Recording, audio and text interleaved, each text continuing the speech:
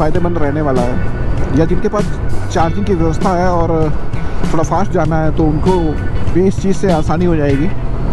Battery temperature 49 degree Celsius पहुँच गई है। मोटर टेम्परेचर जो है वो 53.6 डिग्री सेल्सियस पहुँच गया है। तो आज की जो राइड है वो काफ़ी स्पेशल होने वाली है। काफ़ी लोग कमेंट कर रहे हैं और कई हमारे जानने वाले भी हैं। जिनको ये जानना है कि हमारी जो Ola S one pro gen two है, वो 80 की स्पीड में कितनी रेंज देती है? तो आज इसी को जानने के लिए हम लोग इसको 80 की स्पीड में चला के देखेंगे और पता करने की कोशिश करेंगे कि इसमें 80 की स्पीड में कितनी हमें रेंज मिल रही है। तो गाड़ी देखेंगे, यहाँ पे हमारी गाड़ी जो है वो 100 परसेंट चार्ज है। डिस्टेंस ट्रेवल जो है वो आज की डेट में सब ज़ीरो ज़ीरो दिख रहा है। यहाँ से अपनी राइड को स्टार्ट करेंगे और पता करने की कोशिश करेंगे कि आज हमें 80 की स्पीड में कितनी रेंज मिलने वाली है। अब मिलते हैं सीधा गोप्रो पे।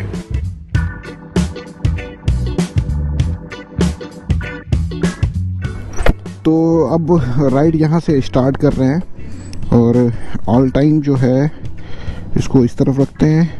यहाँ पे माई ट्रिप इसको भी कर देते हैं। ज़ीरो अभी सुबह के छः बज के उन्नीस मिनट हुआ है तो ट्रैफ़िक थोड़ा कम मिलेगा। अब इसको एट्टी पहुँचाते हैं, उसके बाद देखते हैं हम लोग कितनी रेंज निकलने वाली है। तो रिसेंटली देखिए, अभी 143 दिखा रहा था और टू किलोमीटर का ड्रॉप आ गया। क्रूज जो है वो 69 तक ही लगता है। 70 पे भी नहीं लगेगा आई थिंक हाँ नहीं वर्क कर रहा। यहाँ पे भी 1.7 किलोमीटर 139 मतलब ड्रॉप जो है वो एक किलोमीटर कितना आ रहा है? फोर किलोमीटर कम हो चुके हैं और टू किलोमीटर चली है। इट मीन्स कि 75 किलोमीटर के आसपास चलेगी क्या? है ये तो और भी कम चलेगी। तो आप ये समझिए कि फुल एक्सलेटर खींचे हुए हैं इसका। और ये 80 से ऊपर नहीं जा रही है और आधे किलोमीटर में ही एक किलोमीटर इसके कम हो जा रहे हैं। फ़िलहाल जब इतनी स्पीड में चलते हैं तो ओला को कोई गाड़ी पकड़ नहीं सकती। अगर यहाँ पे 80 की स्पीड बहुत होती है। बट, कुछ जैसे ऑफ़िस वाले बंदे हैं जिनको 30-35 किलोमीटर जाना है या 50 किलोमीटर भी जाना है और वहाँ पे चार्जिंग की फैसिलिटी है उनके पास अगर दो तो बहुत से लोगों को क्यूरसिटी होती है कि ये अगर सिंगल चार्ज में एक बार में कितना रेंज दे सकती है एट्टी की स्पीड पे? तो वही आज पता चल जाएगा कितना रेंज देगी। साढ़े तीन किलोमीटर हो गए और 136 किलोमीटर की ट्रू रेंज नॉर्मल मोड के हिसाब से बची। है अगर वो स्पोर्ट मोड लगाए होते तो डिफरेंस थोड़ा कम आ रहा होता। और हाइपर मोड होता तो बहुत ही माइनर सा डिफरेंस आ रहा होता है ट्रू रेंज में। वापसी हमें कितने पे लेनी पड़ेगी? क्योंकि चार्जर तो हम लाए नहीं हैं। और रिस्क हमें लेना भी नहीं है, नहीं जा सकते। चलो, कोई दिक्कत नहीं क्या 50 किलोमीटर भी नहीं चला पाएगी क्या? क्योंकि लास्ट के 25 किलोमीटर जो हैं, वो तो हमें इको मोड पे ही चलाने पड़ेंगे। और ये 80 की स्पीड में नॉर्मल मोड जब तक है, तब तक ही चलती चलेगी ये। और नॉर्मल मोड भी सिर्फ़ सेवन किलोमीटर ही चलता है। 32 पे नॉर्मल में शिफ्ट हो जाएगी और वहाँ से 24 जैसे ही होगा तुरंत इको मोड में आ जाएगी। फ़िलहाल देखते हैं क्या रेंज निकलती है। देखिए फुल थ्रोटल लिया 80 के ऊपर नहीं जा रही है। और 5.5 किलोमीटर और यहाँ पे 10 किलोमीटर कम हो गए। तो इट मीन्स कि जो 143 दिखा रहा था, उसका हाफ़ ही जाएगी। और हाफ़ में 24 किलोमीटर आप छोड़ दीजिए वो। अगर ट्रू रेंज के अकॉर्डिंग चली तब। अब देखते हैं कि थोड़ी सी स्टेबिलिटी आती है या नहीं आती है क्योंकि अभी तो ये स्पीड भी बहुत होती है ईवी के लिए। यहाँ पे अगर तो आ, पावर नहीं लगी हुई है फिर भी पावर के आसपास यहाँ पे मेरे ख्याल से टू के आसपास की पावर जा रही होगी दो किलो वाट के आसपास की पावर क्योंकि 60 पे ही 1.3 और 2 के आसपास हो जाती है। 132 इट मीन्स कि एक किलोमीटर में दो किलोमीटर अभी भी जा ही रहे हैं। और भी तेज़ी से जा रहे हैं अब तो। वैसे नॉर्मल मोड में 82 की स्पीड है बट ये अभी कुछ क्या है रीज़न मैं 80 के ऊपर भी नहीं जा पा रहा हूँ, क्योंकि थ्रॉटल फुल लिया हुआ है। एवरेज स्पीड भी हमारी देखनी होगी कि ज़्यादा कम ना होने पाए, क्योंकि तो फिर वो हो जाएगा कि 80 के नीचे चला दिया। फ़िलहाल नॉर्मल मोड में फुल स्पीड में 80 जा रही है, ये कंफर्म है अभी। तो मिलते हैं कुछ देर बाद, फिर देखते हैं क्या रेंज निकल के आने वाली है। आज जब 80 की स्पीड पे चल रहे हैं तो देखिए कितना स्मूथली ट्रैफ़िक जो है ना, पता नहीं चल रहा है। हम सबको क्रॉस करते जा रहे हैं। बहुत कम गाड़ियों को हमें क्रॉस करना पड़ता है। तो 80 की स्पीड बहुत होती है बट रेंज जो है, जिस हिसाब से डिक्रीज़ हो रही है, वो बहुत ही फास्ट हो रही है। गाड़ी चलाने में नो डाउट बहुत ही स्मूथ है, और बहुत ही अच्छी राइड हो रही है यहाँ पे। और सुबह का मौसम बहुत ही ठंडा ठंडा है तो ऐसी कोई प्रॉब्लम नहीं आ रही बट रेंज जो है, जो एक्सपेक्टेड है, उससे भी लग रहा है कम जाएगी। वैसे मैं सोच रहा था कि 70 के आसपास निकल जाने चाहिए बट लग नहीं रहा है, क्योंकि इको मोड में आ जाएगी ये। और लास्ट टाइम जब 60 वाला किया था 60 की स्पीड पे तो वहाँ पे हमें समथिंग 90 किलोमीटर 95 किलोमीटर के आसपास 60 की स्पीड में इसने निकाल दिए थे। बट 80 की स्पीड पे ऐसा पॉसिबल नहीं है कि हम लोग 70 किलोमीटर पहुँच जाएँ। अब ओवरऑल चलती कितना है, ये तो पता चल जाएगा। जब चले थे 143 थी, और अब 130 113 किलोमीटर है तो 17 किलोमीटर के आसपास हम लोग चल पाए हैं तो 30 किलोमीटर में 17 किलोमीटर चले हैं। इतना ज़्यादा फास्ट जाएँगे तो फिर ईवी में तो आपको रेंज वैसी मिलने वाली है ही नहीं, क्योंकि ये बहुत ही स्लो राइड के लिए बनी हुई है और इतनी फास्ट राइड में आप कर सकते हैं राइड बट रेंज की उम्मीद मत रखिए इनसे। जिस तरीके से आज देखिए मैं चला रहा हूँ। तो अगर तो ये 35 किलोमीटर निकाल देती है 90 के आसपास तो उम्मीद है कि ये 70 किलोमीटर चल जाएगी बिना लगे हुए इको मोड नॉर्मल मोड में ये आपको दे देगी बट पॉसिबल नहीं है, क्योंकि 18 किलोमीटर चल गई है और 111 किलोमीटर की ट्रू रेंज बची है अभी। तो रिज़ल्ट जानने के लिए थोड़ा सा वेट करिए और इसको और आगे चलाते हैं तो देखते हैं कि अभी अगले जो 20 किलोमीटर हैं, क्या उसमें 10 किलोमीटर जा रही है या मतलब 10 किलोमीटर जाएगी या उससे कुछ ज़्यादा जाएगी। और 10 किलोमीटर जाने में 30 ही जा पाएगी है टोटल एक्सीटर जो है कहीं कम नहीं हुआ है। इसीलिए सुबह का टाइम चूज़ किया था कि सुबह सुबह ट्रैफ़िक इतना ज़्यादा नहीं रहेगा। वापसी करेंगे तो थोड़ा ट्रैफ़िक मिलेगा भी। तो गाड़ी जो है वो 100 किलोमीटर बची है 43 किलोमीटर की ट्रू रेंज हो चुकी है और 43 में हम लोग 24 किलोमीटर 25 हो जाएगा 100 पे ही। तो 43 में लगभग 25 किलोमीटर आ पाए हैं तो 99 हो गया यहाँ पे। तो बचे हुए जो 99 किलोमीटर में, अगर 25 इसमें चलना है 50 तो फिर हमारे 43 किलोमीटर कम हो जाएँगे। फ़िलहाल 90 किलोमीटर जैसे ही आएगा, वहाँ से यू टर्न ले लेंगे हम लोग। ये राइड जो है, वो बहुत ही ज़्यादा लोगों के काम आने वाली है, क्योंकि बहुत से लोगों को डिस्टेंस कम होती है बट जाना थोड़ा फास्ट होता है तो उनको एक्चुअल में कितना रेंज दे देगी अगर वो सिंगल चार्ज में जाते हैं, और उनके पास चार्जिंग का ऑप्शन रहता है, और बहुत से, कई लोगों को मैंने देखा है जो ऑफ़िस वगैरह में जाते हैं, अपने चार्जिंग की व्यवस्था रहती है। तो एक सिंगल चार्ज यहाँ से गए, अपने घर से चार्ज करके, और वहाँ फिर दोबारा इसको चार्ज पे लगा दिया। तो उनके लिए ये ब्लॉग काफ़ी फ़ायदेमंद रहने वाला है। या जिनके पास चार्जिंग की व्यवस्था है और थोड़ा फास्ट जाना है तो उनको भी इस चीज़ से आसानी हो जाएगी। अगर वो 70 चलती है एट्टी की स्पीड पे तो मेरे हिसाब से बहुत ही अच्छी रेंज निकलेगी फिर। बट सेवेंटी चलेगी कि नहीं चलेगी, ये तो वक्त बताएगा। 96 किलोमीटर ट्रू रेंज बची है और 27 किलोमीटर ही चल पाए हैं। 95 हो गई अब। किसी किसी टाइम 81 टच कर जाती है, फिर वह वापस आ जाती है। पता नहीं ऐसा क्यों हो रहा है। 80 भी बहुत है फ़िलहाल। अब कम हो गए हैं 53 किलोमीटर। और बचे हुए हैं अगले 53 किलोमीटर में भी 30 जाएगी है अब आगे से जहाँ पे मिलता है, वहाँ पे यू टर्न ले लिया जाएगा। यहाँ से यू टर्न लेते हैं और 82 किलोमीटर की ट्रू रेंज बची है। तो यहाँ पे हमारी लगभग 63 किलोमीटर की ट्रू रेंज जो है, वो कम हो चुकी है और अब हम लोग कंप्लीट कर पाए हैं 35 किलोमीटर और राइड अभी कंटिन्यूस चली जा रही है और थ्रोटल पूरा खींचे हुए हैं। तो देखते हैं अब, क्योंकि अब जो है वो किलोमीटर इसके हाफ़ बचे, बचने वाले हैं और बहुत ही स्पीड में अब ये गिरेंगे, वो भी आपको पता चल जाएगा। तो बहुत ही स्पीड में गिर रही है। जैसा एक्सपेक्टेड था, वैसा ही हो रहा है। 77 एक किलोमीटर भी मतलब दो किलोमीटर में एक किलोमीटर जो आ रहे थे, मेरे ख्याल से वो भी नहीं आ रहे। मतलब इको मोड के बिना अगर तो घर तक पहुँच जाते तो मेरे हिसाब से ये रेंज बहुत अच्छी होगी।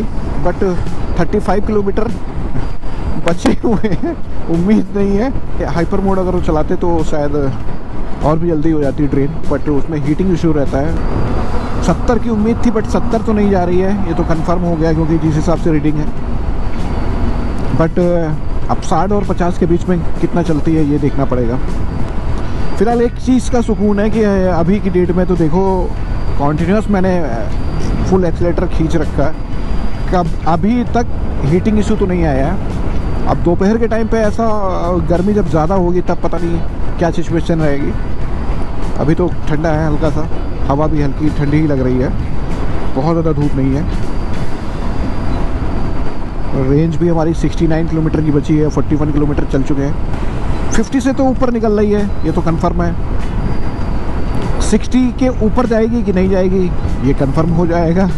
70 नहीं जाएगी, ये कंफर्म है। एक्सपेक्ट किया था कि 70 जाएगी तो अच्छी रेंज हो जाती। यहाँ 80 में भी आदमी 70 किलोमीटर दूर जा जा सकता था 80 की स्पीड पे बट 70 नहीं जाएगी इतना तो मुझे कंफर्म है बट 60 तक पहुँच पाएगी कि नहीं पहुँच पाएगी?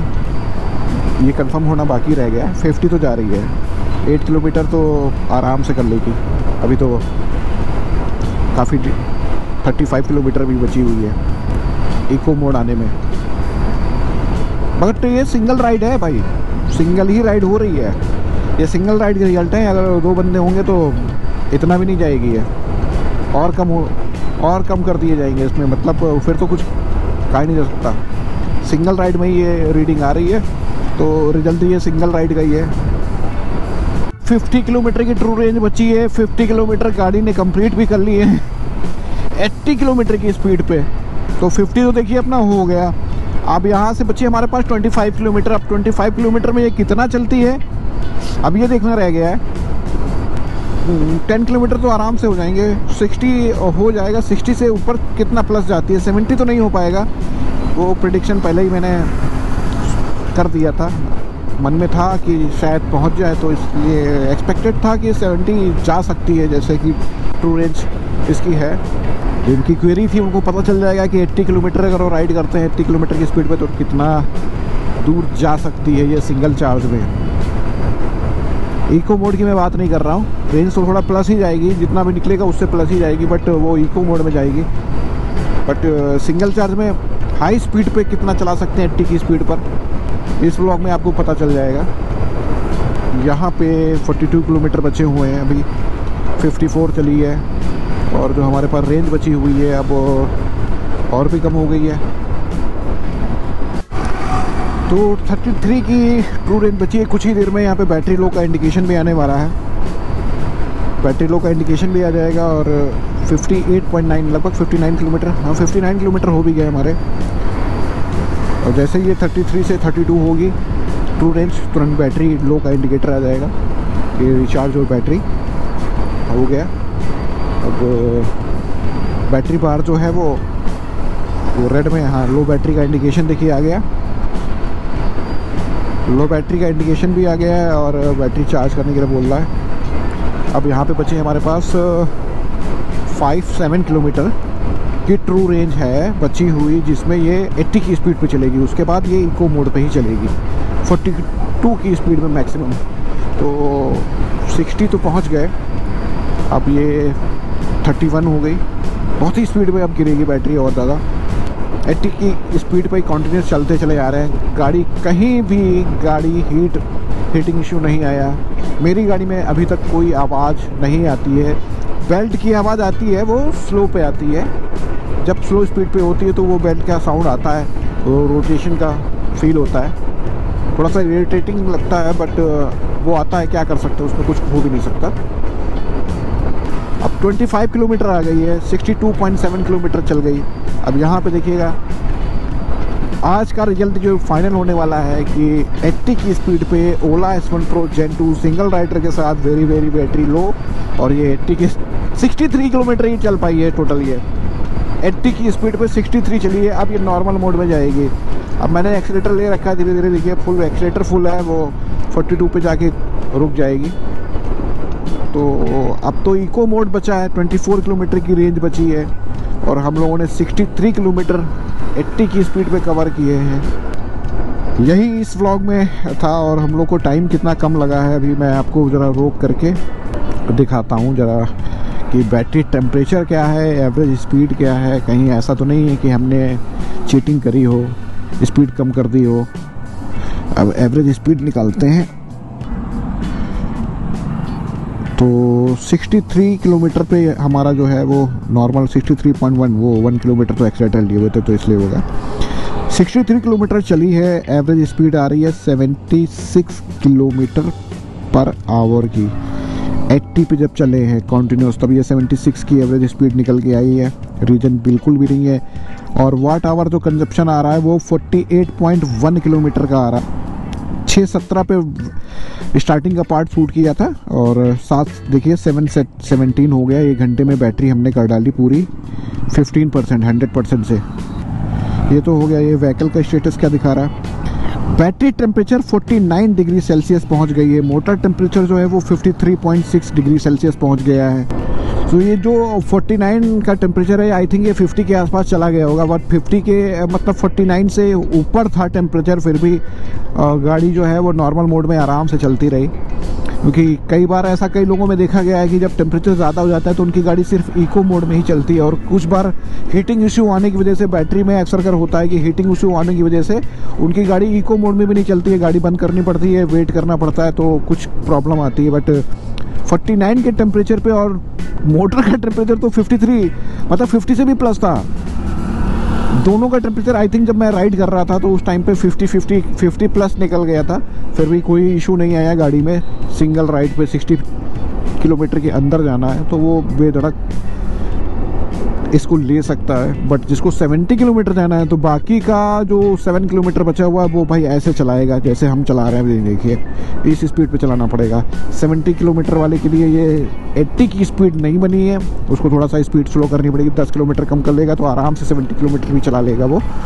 तो रेंज कैसी लगी है आपको? 80 की स्पीड पे क्या आपके हिसाब से कैसी है? ये आप कमेंट करके ज़रूर बताइएगा कि 80 की स्पीड सही है या नहीं सही है।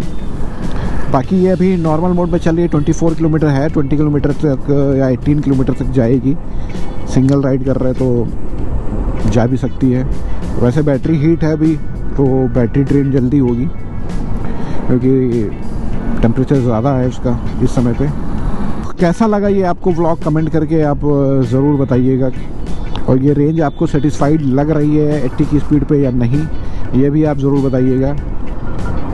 तो अब इस ब्लॉग को यहीं पे एंड कर देते हैं। तो इस ब्लॉग को यहीं पे एंड करते हैं और मिलते हैं फिर आपसे नेक्स्ट ब्लॉग में। तब तक अपना और अपनों का ख्याल रखिएगा और हमेशा खुश रहिएगा।